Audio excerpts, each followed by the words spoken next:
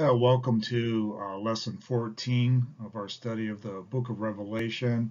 Uh, I just want to apologize to those of you that would do the live streaming. Uh, Dan is the one that had a problem with the recording for Sunday, so you're getting a, a different, probably a, a, little bit of different version, but I'll try my best to uh, do this as close as possible to Sunday's lessons. But uh, just want to thank you for watching them, and I just want to encourage you to continue on studying the book of Revelation.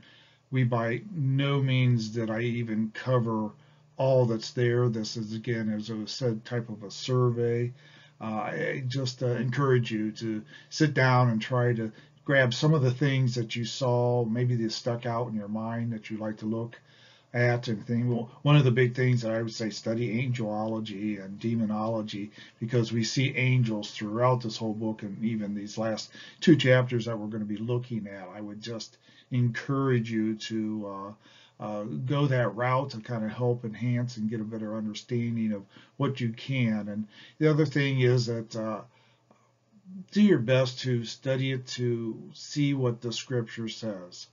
Uh, there's a lot of things that uh, all of us, I, my, myself included, and throughout the years of uh, sitting and listening to others uh, teach the book of Revelation and different things, and sometimes some things come out that when you go back and you look for it, and it's just like, oh, I don't see that, and I don't uh, really get that. And probably one of the biggest I'll just share with you, and then we'll get started here is a is one particular viewpoint. Uh, uh, during the millennium, which we studied last week, just real quick.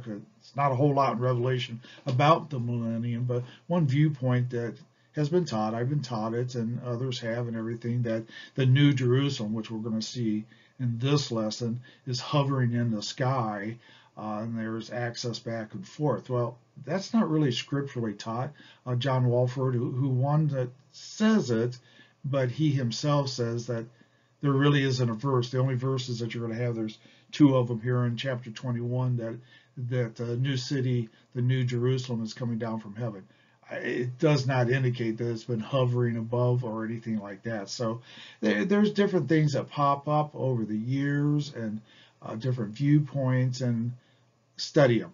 Uh, see what God's word has. And if there's not even more information given, we just have to leave it at that and not try to speculate because the speculations of teachers have created a lot of confusion in my opinion and have added a lot of things. So i just encourage you to continue on doing the study. I've enjoyed this as it's i've learned a lot of things. So uh, again i apologize for that this being the original lesson but it's going to be kind of close and we'll just go through with it uh, we're going to be talking about the new creation. Uh, where we left off uh, with the great white throne judgment is that uh, uh, the new heaven and earth, they, they were gone. Uh, there was that judgment. All that were not found written in the book of life were thrown into the lake of fire, which we'll see mentioned again on these two chapters. And here we are now with the, the new creation.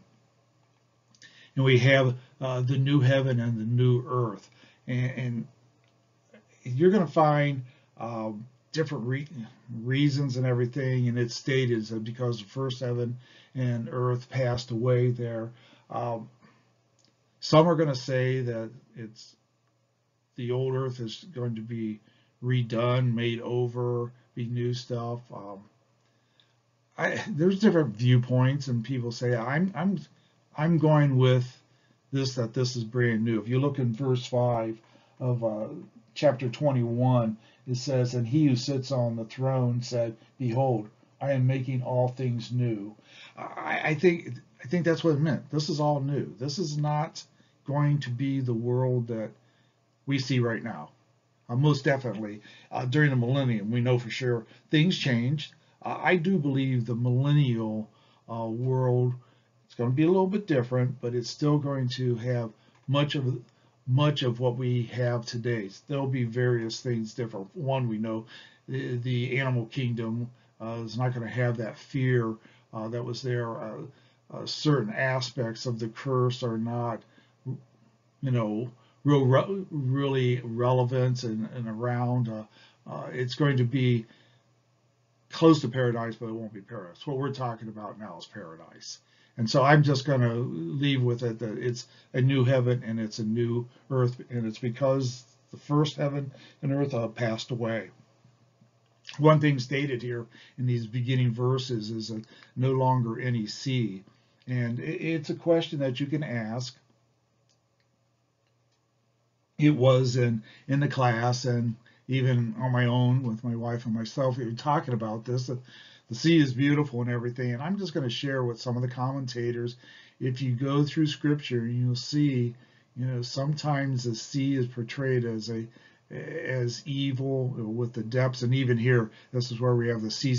Uh, excuse me, the beast comes out of the sea, and so uh, I, I don't know if that's it. And when I say no longer sea, that is meaning no longer oceans. I last time, a couple lessons down, we talked somewhat, I think, in the it's talking about the salt water content, not just like the Mediterranean Sea. I, I do believe this means salt water. You know, three quarters of our Earth is covered with that, and which that means is is that that's you know we have the aquatic life and everything, but we don't have the living space for for humans and everything, and so eh, there will be water. We'll see that as we come on, but we see that, and then I showed that there's no more death mourning, weeping, pain, curse, and night. These are the other things that, that will not be present during at this with this new heaven and this new earth, and as we see it. Uh, and in these opening verses, and this is these first verses are very, uh, they get expand out as we move along here. And uh, John writes down that uh, as he's told to write, and he's told that these words are faithful and true. He says, uh, the new Jerusalem is coming down. Uh, this is that city that uh, Abraham was looking for, the one that's uh, not made with uh, hands uh, of man, but by God and everything. And this specifically stated as God's dwelling place. And this directs it to that idea of the Old Testament. That was that whole thing about the tabernacle and then going to the tent is that God is among men. Well, we're now in this new world and this is possible. I mean, it, it's going to to work completely in a awesome way. And Christ said, as I mentioned already in verse 5, I'm making everything new. And I give you some Old Testament verses that talk about that. And, and John's told, write this down. These are faithful and true words. This is this is God's word and everything. And you notice that there's a promise to the overcomer uh, there in verse verse 4 it says and he will wipe away every tear from their eyes and there will no longer be any death and these will no longer be any mourning but did you notice in the next uh, verse, um, the next verse uh, there is that you'll see uh, later on, uh, verse 8, uh, but for the cowardly and the unbelieving, we've gone from the promise to the overcomer. Also, verse 7, he who overcomes will inherit these things, this, this new world, this new new heaven, new earth, this new Jerusalem are going to be inherited by the overcomers. And we saw that in chapters 2 and 3. Uh, but then in verse 8, and this will be the first of, of three of these type of lists uh, talking about uh, those that won't be overcomers. And verse 8 says, but for the cowardly and the unbelieving and abominable and murderers and immoral persons and sorcerers and adulterers and all liars, their part will be in the lake that burns with fire and brimstone, which is the second death. And starting with this list, and there'll be two more lists we're going to see, the whole idea is John is using things that we understand. And he's using words and uh, that you and I understand those first century people, that those seven churches that this letter is initially written to, and now it's it's for us in the 21st century. Is that none of this will show up in the new heaven and new earth. You have to be an overcomer to be here. Uh, yes, he's going to mention them uh, when you read that. It says, and, and later on, it's going to even make you ask more questions. But he's just stating that no, that's gone. That will not be in this new heaven and new earth at all. then he goes on and he moves, he starts talking about the holy city. And we have a, an angel guide here uh, that comes up in verse 9. And it's one of the seven uh, angels with bowl judgments. Um, no names are given, uh, no speculation. This is one that we're just told it's one of those angels. Obviously, an angel of high rank and everything. And I do believe that the angels had ranking and everything uh, taking place and he's going to be the one that uh, will show uh, the city to uh, John. And here it's referenced as the, the bride and the wife of the Lamb. We're now talking about the city. Um, I don't want to get too deep and you can study and everything. Uh, yes, the church is called uh, the bride of Christ. Uh, that's most definitely. But here we're getting a little bit expanded view. We're talking about the this city, and yeah, the church will be dwelling there. And so don't get too too hung up that this is just a church. It's not. We're talking about the holy city. A, a, literal city is being talked about. And actually, John, you'll you'll see as we start going through the description here, he's on this high mountain so that he can see it and get this view of it as it's coming down because this is a big city. Uh, the next verse is kind of gives some of the physical features of the city. I'm just going to briefly go through them. Uh, there's a lot there and some things. I'm just going to kind of do point out some of the things. And the one big thing is its brilliance. Uh, this this brightness and everything. In fact, I was just kind of thinking about that today, and we kind of mentioned something in class and everything, but you know, the sun shining and everything, uh, that's, that's really is kind of therapeutic and everything. And you always talk about, you know, it's it's dark and it's gloomy and everything. And I know my brother-in-law lives up in Alaska, the one place where he used to live, it would get the six months of darkness, and he uh, worked with the EMT, and it just uh, wasn't good on the people to have that that darkness. I mean, the sun would just hang on the horizon and everything. Here we have this brilliance, and it's talking about the glory of God, that Shekinah glory that we saw in the Old Testament. You'll see as as you go through there. And one of the general appearances that he gives there in verse 11 is talking about it's jasper, and that word is used in uh, chapter 4, verse 3, talking about God. It's a it's a, a aspect of talking about the brilliance and and the glory of God and everything. And so that's a general appearance that's given there. And then he goes on and he talks about, as I said, I'm just going to be kind of brief and you can go back and uh, look at that and everything. Uh, the walls, uh, it's going to have these walls and these gates and a foundation. Uh, the measurements that are given are just phenomenal. But but these gates, first of all, these gates are called tower gates. I'm trying to think. I, I can't. Um, I'm quite sure if you look at some of the castles of England or of Europe and everything, where the gates are, then you have a tower. And that's kind of the idea here is that there's going to be 12. And these 12 gates have the names of the 12 tribe, the names of the 12 tribes of the sons of Israel. And by these gates are 12 angels. And then you're also going to see that these gates are, are, are made of, uh, of, of pearls, each individual gate.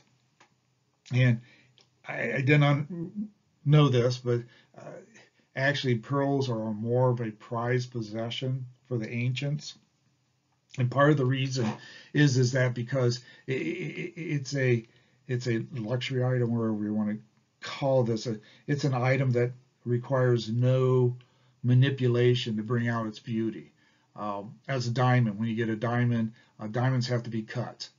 Um, they, they'll find these big, huge diamonds of massive carat and everything, but they ultimately have to be cut. Now, uh, the aspect of of diamonds is that they have all these very distinct lines and everything. And then once they're cut and they're shaped and everything, there's its brilliance and its beauty and everything. And uh, here, I uh, pearls, uh, they that's it. You don't have to do anything to them. In fact, I didn't realize that the Caesar uh, was given the idea that uh, uh, Britain had lots of pearls, and that was part of the reason uh, heading up and conquering Britain is to get the pearls because of uh, the great possessions there. And that's just something we can't, I can't fathom. A whole gate is made of a pearl. And, and on top of this whole idea is, is that, that all these gates, these 12 gates, which are around all the sides of this. They're all open. They're always open. Uh, don't get locked in and says, wait a second, we have this this city with walls and with gates. The first thing we'll think of is is again, I just already mentioned the castles of of Europe and everything. And at night they always closed the gates. Uh, they barred them. Always had someone to protect them. And the walls were to keep people out. That's what the Babylon was was. Belteshazzar thought they wouldn't be. Um, uh, excuse me, Belshazzar. I get confused with those two names. Belshazzar, you know, thought we were protected and safe. Close the gates. We have these six walls. Uh, uh, they won't be able to come in. They just he forgot about uh, shutting the water supply off and coming underneath the walls. That's not what these walls are about. These walls are these walls are of this city, the way God built it and everything, and uh, it's just a massive city. Gates are open all the time. Uh, they're never closed. Um, the foundations, there's 12 foundations, uh, and they have the names of the apostles of the lambs. And I just want to point out uh, the gates have the names of uh, the tribes of uh, the sons of Israel, and the foundations have the names of the apostles of the Lamb of Christ. Um, the names aren't mentioned. That's because that's not the significant aspect that's being talked about here. We're talking about Israel when we're talking about the church.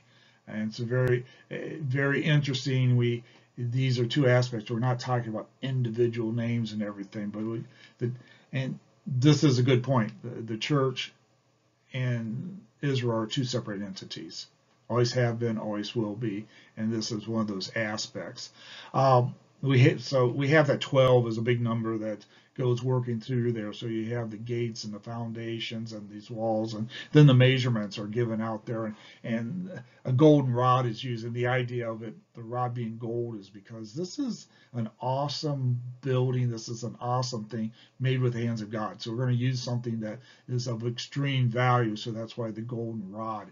And it is a square or if you wouldn't want to call it a cube but it's the 15 mile, 1500 miles uh, as a setting class that uh, that's one direction would be from the border of Canada to the Gulf of Mexico roughly, and then from the east coast to the Mississippi River, and then put that into a square, and then and then the walls go up 1,500 miles. Uh, the only way I can give you an idea of what that might mean is, first of all, the International Space Station, uh, its altitude is 254 miles. Um, uh, the Starlink uh, satellites out there for communications, they're running around 341 miles up. And at 62 miles, that's it's that's the point where regular planes can't fly above that because the air is so thin. So it gives you a mile. Uh, you go beyond that. We're going into outer space. And so I'm just going to say, based on the size of the city that's coming down to the earth, this earth is not the same earth. There's no reason why we can't have a bigger earth than what we are living on now. This is just, it's new and it's just, it's going to be phenomenal. And then the last verses, there's 1821, are these special features. And, and the one thing I pointed out there is that pure gold like clear glass. We don't know what that is. Uh, pure gold, if you take a ring, uh, make it of pure gold, it's it's malleable. It it will wear out. Um, rings of uh, older rings that have more gold content wear out real quick. We don't understand what this means. This is this is something precious and way beyond our comprehension. This is the best way John could describe it. He's using his words, his understanding of the things he's seen, and that's how he's describing it there. And so we have these these the city is just and it's brilliant because those gates are those excuse me those foundations the stones that I'm not even going to go through. You have whites and yellows and blues and reds and greens. It's just a phenomenal beauty that we don't know. And as I said in class, don't let be fooled by anybody that's written a book, said they died went to heaven came back and wrote a book. No, they didn't. In fact, the heaven they went to is the old heaven. And so when you, they can't, even if they did went to heaven, wouldn't be here. But the, the descriptions that people give don't even match. There's nothing there.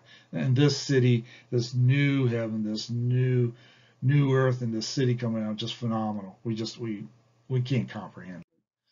As we go on and look at it, uh, the city's illumination now we, we look at it and it says the Lord God, the Almighty, and the Lamb, they are the city's temple. No more temples. This is it. Uh, had that millennial temple uh, was built and it was phenomenal and I'm not sure exactly how that all transpired but it was a much bigger uh, temple than uh, any of the other temples that are around but there there is no need. And this is the emphasis here is the presence of God with men. Um, we'll see. I, I think I've already stated it. There is no curse. You remove the curse fellowship with God is available uh, this is the presence of God. And again, this repeat, there's there's no need for light. And in this aspect, so no sun, sun or moon. And so those celestial things, again, what's what goes beyond this? I have no idea. It just says the glory of God illuminates it, and the Lamb is its lamp.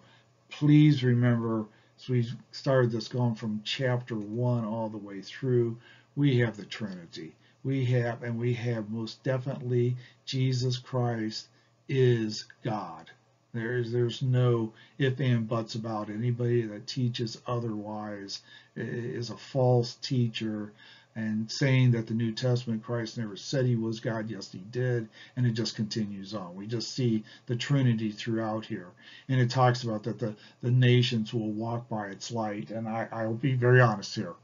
Uh, we're going to see the kings and the nations and going out of the city. And I'm not really sure who these people are. Um, this could be, and we talked about this in class uh, because there's another passage that we can look at and see and everything, is that we have this, it's just the people that came out of the millennium. And I'm just going to hold with that.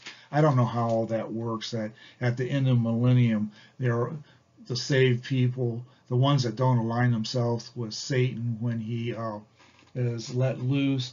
Um, I don't know. I, I, it's a different group of people. I'm just going to go with that, but they're they're believers. Doesn't matter. Their names are in the book of of of life, and it's you don't have to worry anything about that. And then verse 27. This is a second list. Uh, this is a note. Reader, take take note of this. In verse 27, and it says, "And nothing unclean." No one who practices abomination and lying shall ever come into it, but only those whose names are written in the Lamb's book of life. Uh, this is for the readers. And that's why I said that. Reader, take note of this. This is not at all saying that in this new heaven and new earth, you know, outside the city, we're going to have sinners, we're going to have uh, people that uh, practice uh, these things. No. Uh, this is just, again, another point. The only way to get to this point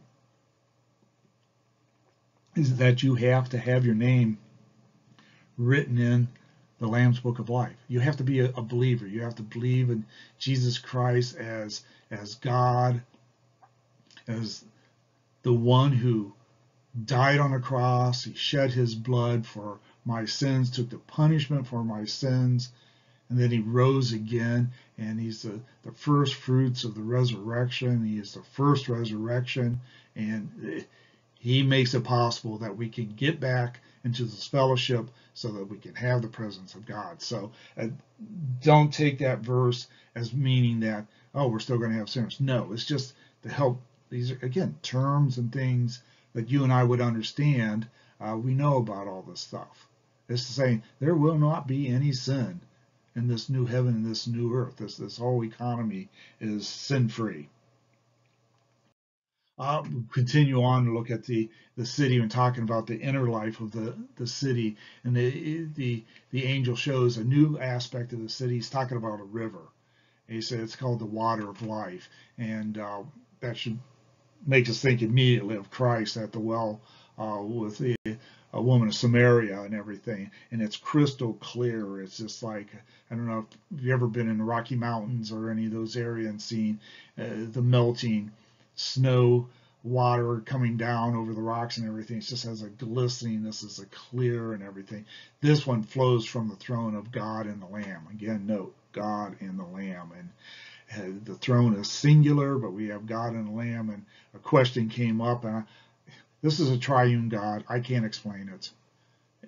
Um, we're going to see, as you already seen in notes, we'll see his face. Moses spoke to God face to face, but it was brought up that uh, no one can see God because he is a spirit. Christ is God, and so I can't under, explain the whole thing. I just know it's there. We have the tree of life. Tree of life, boom, takes us right back to uh, the book of Genesis, and we see that that tree there. It's a special aspect of the garden. We are now back into paradise the way it should be. No sin, no curse, and we have this this living water. Uh, we have no need of a temple because it's it's the Father, it's the Son, and the Holy Spirit are there. We have this tree of life, and again, I can't explain the picture they have here. It's talking about this river flows down the middle of the of the street. Uh, also, the idea this isn't a humongous river. It's kind of I'm not really sure how you would explain, it, but small. But it says. Uh, the tree of life is there, and a lot of them would say that you know it's a row of trees on both sides. I don't know. Uh, it's singular form, tree of life, but maybe uh, I didn't say this in class, but I started thinking like maybe it's kind of like I don't know if you anything about Rose of Sharon's, but they uh, used to have them in our old place, and they kind of drove me crazy because the shoots popped up all over the place. I don't know if that's the idea here, but we're going to have these 12 fruit or 12 kinds of fruit that come out every month, and it's going to have leaves for healing of the nations. Again, I don't understand. I will be honest. What does that mean? Because there is no sin, there is no death. Um, one of the aspects that was given to that word healing. The Greek word is where we get therapeutic from. Um, it, it's just showing us that God's promises have come to being and there is no need for healing. I, I really don't know. I think we'll be able to eat the fruit. I don't think, but the idea does not mean that there's people being sick, people getting hurt, and they need healing. I, it, it's not that idea that there, how it's going to work. And again, you see the healing of the nations. And one commentator suggested that this is for those that came out of the millennium. They went from the millennium to the new heaven, new earth. I'm just going to throw this out. You need to think about that. How did that all work? Yes, I know there are people in the millennium. I know people went from the tribulation into the millennium. They were all saved people. And they started having children. Um, is there death in the millennium? I can't answer that because there's longevity. Isaiah makes a comment: if someone dies at 100, there's something wrong. I, I, I, that suggests all that suggests is that there's longevity. Maybe they'll live a thousand years. Those that come in, and you're going to have ones that are born and everything. But there are going to be ones that that when Satan's released, that they are going to rebel, and they're unsaved. Uh, they're going to go to the lake of fire the other ones come into the presence of God. So I, I, I don't know what the need is. I, again, think about it. It was said that if Adam and Eve ate of the tree of life uh, after they sinned and then they ate the tree, they would live forever. Um, I don't know what the aspect is here, but I know it's there. I know what it's telling me is, uh, as a believer, is that we're back to paradise and we just have this tree of life that that is there. And then the next thing, there's no curse, absolutely no hindrance to the fellowship with God. So that's why I'm not sure exactly what's going on about that healing aspect, but I know the fruits. I just know it's telling me that I don't have to worry about sin. Uh, that Genesis 3, when the curse came, it no longer exists. That broke the fellowship. You notice when it happened there, uh, the fellowship was broken. They hid themselves. It's not going to be there. And then we're going to see again that the throne of the of God and the Lamb, and then we have the bond servants will serve and continue. What the service is, who knows? Doesn't matter. It's going to be glorious. And says we'll see his face and the name of his on his foreheads. And here's the thing to think about the name stuff or whatever you want to do. we're going to be in this constant brilliance of God. And when Moses was in the presence of that brilliance, when he walked away, he shined too. But it's not going to matter because we're all going to be in it. And again, it just repeats no need of light. No need. He is the light. God is the light. And then it, it states there at the end, it says, will reign forever and ever. And this reigning, uh, a lot of commentators will take this reigning aspect, and it's part of um, uh, part of the rewards um, that will be given out the Bema seat. We didn't really talk a whole lot about the Bema seat uh, taking place in heaven while the tribulation's going on, but that's where I would place it. And rewards are given uh, there it's not a judgment for our sins that's taken care of uh, at the cross. Uh, it's just what we are doing right now. How are we ministering and serving our Savior now with the gifts that He's given to us? Uh, the rewards be there. And a lot of commentators think that's some type of reigning, some type of uh, aspect there. But it's going to be forever. that's that's that whole idea. It's forever. Uh, the epilogue, the final words, uh, starts off with a testimony of the angel. And we find in these uh, two verses here that kind of brings out four distinct features of the, of the whole Revelation, the whole book of Revelation, this, this revealing uh, that Jesus has given to us of, of what's going to be taking place and everything. And um, uh, first of all, again, we see angel. We have the 12 angels at the gates, and we've had angels through here. We have the angel guide for uh, John, and now we have this angel sanctions the, the truthfulness of this book. And then we have an angelic affirmation that God, as the inspirer of prophecy, and it's been revealed to his uh, uh, servants, and it's going to happen shortly. It's going to happen in God's timing.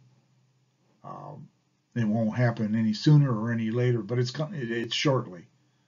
And this uh, an angel confirms this and everything. And then we see Christ's assurance that the central promise of the Lord coming is about to be fulfilled. He is coming. He is coming. And then we have a, a beatitude there. Uh, we see um, uh, in this aspect on verse 7, uh, it says, And behold, I am coming quickly. Blessed is he who heeds the words of the prophecy of this book. This is the whole thing about this book. We're supposed to be reading it and studying it. It's not a mystery. It's not something um, that only certain people can study. This is meant for every believer to read through. It's a revelation, as I said in chapter one, and you look in those first verses. It's not just, it's for readers. The readers and the hearers are going to be blessed go through this book, chapters two and three, particularly in the church, tells us things we need to watch out for, things that we need to correct, things we need to stop doing. And then we also need to go that this stuff is going to take place. We need to forewarn those during this church age that you and I are in. We need to be forewarned. These things are going to happen. This seven weeks of horrific things is coming coming to be. It's going to take place, and we need to tell. And it's there's two kinds of people, saved and unsaved. The saved are here in the new heaven and new earth. The unsaved will be ultimately in the lake of fire, which is unspeakable torment.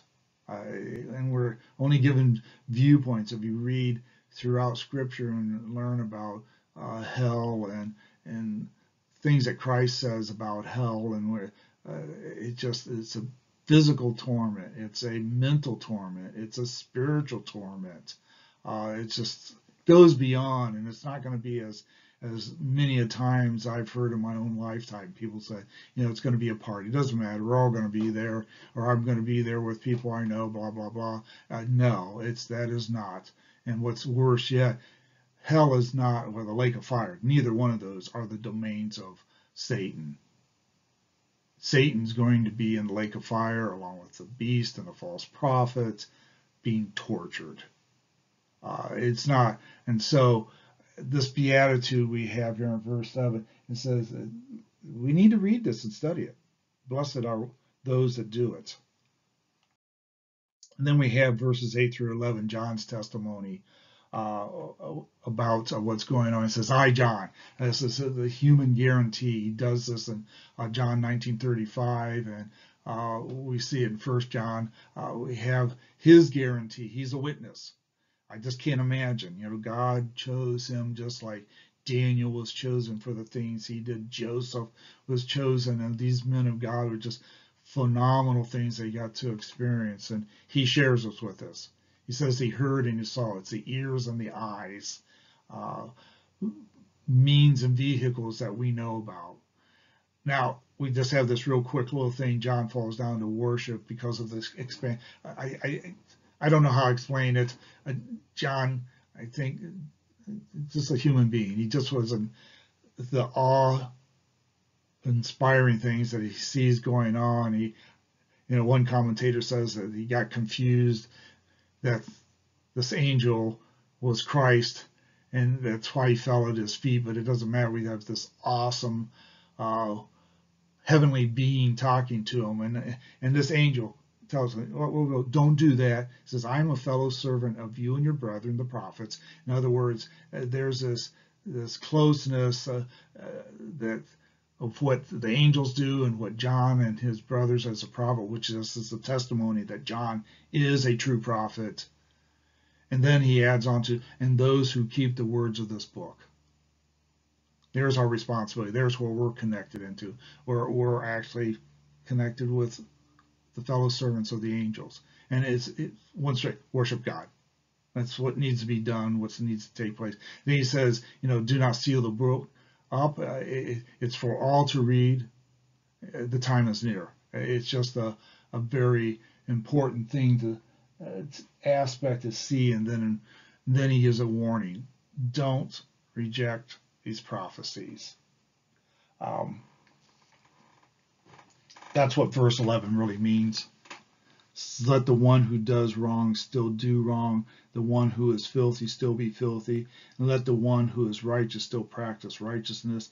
And the one who is holy still keeping himself holy. Uh, the idea is for us to get the picture.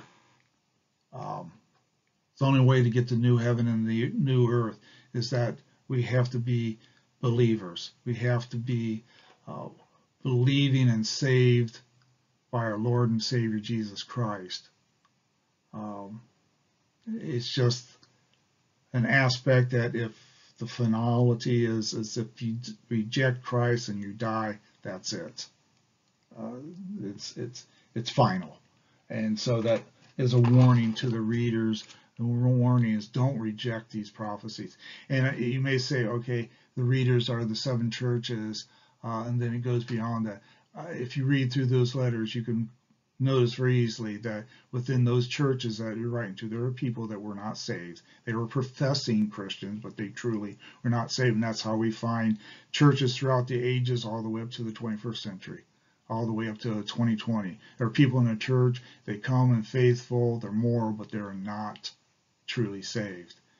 And it's a warning to them not to reject these prophecies, the things that are, are coming as you come on, we have the testimony of Jesus uh, here in these remaining uh, verses coming to the end. Uh, he says, Behold, again, he says, I am coming soon. Um, his, it's his timing. And I, I, apologize, I just read earlier today on Habakkuk, and, and Christ is telling Habakkuk about the coming of the Babylonians. And he tells him, There will be no delay, he will come in my time. And that's this whole aspect of all the stuff going on. It's God's timing. There is no delay. It's been 2,000 years since this has been written. He is coming soon. Christ came just at the right time, the first advent, what we're coming into this, this season to to to look at the the the incarnation. And so it was just the right time. There is no delay. There is no nothing shortened, nothing stretched. It was exactly at the right time. It's the same aspect all the way to the end. This last book. I am coming soon. It's going to take place. And he says he's coming as a rewarder here. And we have this positive, negative aspect that, that's being said here. And says, the reward that it belongs to me to give. He has the authority to be giving out these rewards. And he uses that term, every man. This is individual responsibilities. No way, shape, or form can we accuse a group of people respond. No, this is every person is responsible for their actions. He's qualified. And there in verse 13, three titles are, are given to him. Again, they're, they're, repeats of things you've already seen from chapter 1 and throughout the, the book of titles given to Christ, which makes him God with these titles. And blessed are those. This is the last beatitude of the book uh, that you'll you'll see here and everything. And it, it's it's talking about repentant sinners. Those are the terms. Those who wash their robes are white. That's repentance of your sins. And he's talking about the believers in Jesus Christ and have a right to the tree of life. That's the same thing that was said in uh, chapter 2, verse 7, is talking about the uh, the same thing that's going on there. Uh, is that uh, that promise that is there. And we have again this this last list in verse 15 and says outside the holy city. Outside are the dogs and the sorcerers and the immoral persons and the murderers and the idolaters and everyone who loves and practices lying. Again, this is not talking that it's outside here on this new heaven and the new earth. What this is talking about, this outside is the is the lake of fire. Know, the curse is gone, so therefore sin is not here, and no sin can be in the presence of God anyways and he's now put himself where he's he's on the throne in the city. He's the temple.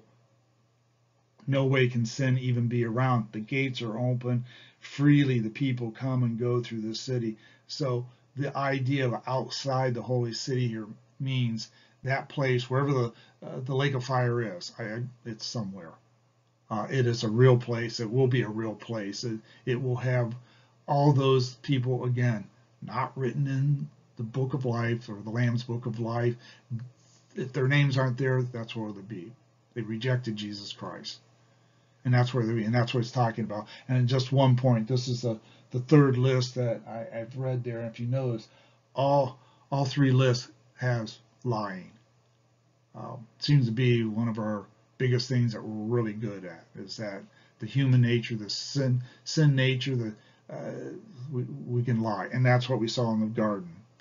Know, that's what, what Satan did. He lied. Uh, he lied right there, and the lying has gone all the way through. Their will, that's gone. Um, their destiny is the lake of fire. And then he says, I, Jesus. And what this, what he says there in that verse is, he's Messiah. Uh, he, he, he let us know, as he says, Jesus, that that's human.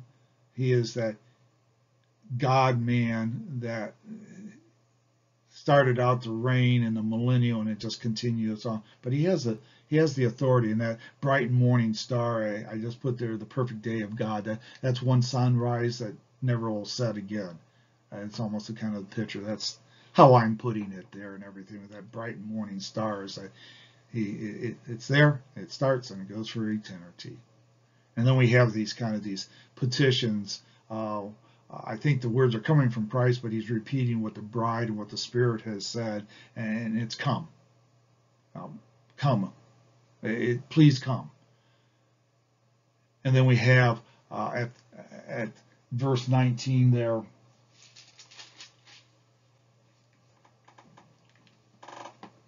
actually, let me go back to verse 18. I'll, I'll start you there. Verse 18 says, I testify to everyone who hears the words of the prophecy of this book. If anyone adds to them, God will add to him the plagues which are written in the book. And if anyone takes away from the words of the book of its prophecy, God will take away from his part from the tree of life and from the holy city which are written in this book. Prophecies closed the revelation's been given. There are no more prophecies that are coming. You can't add, and Deuteronomy talks about the same thing about adding and taking away. Um, that's and teaching. It's changing something in your teaching. Say, well, yes, that's there, but that's not really relevant today. Uh, that doesn't hold to this culture anymore. No, uh, it, there are no more prophecies. God's word, not just here in the book of Revelation, it's the last book. And that's really the whole idea is that it's closed. And no one can add to it, no one can take away from it. And it's it's a deep warning as it's being stated here and everything. And so it's just a very, very critical thing. This is God's word. When you're blessed, when you read and you practice, we're told in chapter one, and we've already been told again uh, about uh, the blessedness of being in this book, which tells me this is not a, a mystical, a difficult book. A difficult beyond comprehension. Let me put it. It's difficult, most assuredly uh, but it requires some studying and requires also hitting the point. So we're not given a full answer, but guess what? As a believer today, uh, if I die, I'm absent and present with the Lord. Uh, then at the rapture, I'll get my new body, or if I'm alive when the rapture takes place, I get the new body. Uh, I'm not going through any of this stuff, but we need to talk to those around us so they too do not go through this because it's going to happen the final, final words, kind of stretching that out. And Christ says, Yes, I am coming quickly. Um, I put 2 Peter 3, verses 11 through 18 there. I put those there because um, that's how we're supposed to live. Read those over and study them. That's what we are to be doing now, being diligently living like Christ, obedient to his word, loving one another, but first of all, loving God with our whole being. Uh, he's coming quickly. Uh, again, we, we can't fall into this idea he hasn't showed up, therefore we can do whatever we want, and then when it's coming close, there's too many parables that Christ gave that said that doesn't work that way. This is the same thing. This is going to happen. It's going to take place. And then John says, he says, Amen. He says, absolute faith in Jesus' promise. And he says, Come, come, Lord Jesus. Again, it's one more proclamation of his deity. He is God. And he died for my sins, took my punishment, so that I could be in fellowship with the Heavenly Father. It's something that should grab us and we should hold on to and we should pass on to those around us. Then we have the benediction, that last verse there, last verse 21, it says, The grace of the Lord Jesus be with all. And then, then we have one more amen. It's God's grace. It, it, it is His provision. Faith cometh by hearing, hearing by the word of God. It's His grace. It's the only way to be saved. It's the only way. It's by God. And he ends up this book, this letter that goes to these seven churches. And then it spreads out and comes to us today. Uh, it's a book to be studied. These things are going to take place. There is a finality. Uh, if you do not accept Jesus Christ as your Savior now, the eternity is terrible. It's just beyond belief. And as believers, we need to be shoring up our attitudes, our actions, our words, uh, particularly in these difficult times.